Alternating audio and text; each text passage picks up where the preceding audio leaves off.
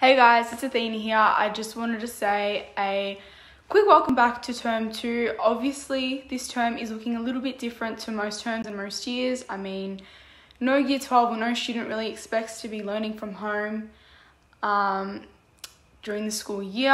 Obviously, it's out of our control. We can't really do anything about it. Um, we just want, I just want to make sure that everyone's still staying in touch with their teachers and their friends. Obviously, um, students can feel alone at this time, feel a little bit isolated since we're not seeing each other. Um, and we just want to make sure that everyone feels connected and not alone.